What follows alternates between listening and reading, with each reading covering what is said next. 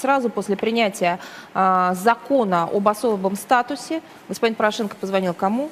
Он позвонил Байдену вице-президенту США. Это факт. Может быть, вам об этом факте неизвестно, может быть, вам о нем не рассказывают. Вы зайдите хотя бы на сайт тогда своего президента, в интернете посмотрите. И Байден что сделал? Байден прокомментировал да. в том смысле, что это позитивный шаг, похвалил Абсолютно. его и так далее. При этом представители нормандской что... группы, именно в которой и вырабатывались эти соглашения, там четыре страны было, три из них находятся в состоянии, ну, близком к шоку после Поправки того, как был принят этот закон. Почему же тогда, э, обсуждая, обсуждение этого закона, который должен стать краеугольным камнем мирного процесса, происходит между Украиной и Соединенными Штатами?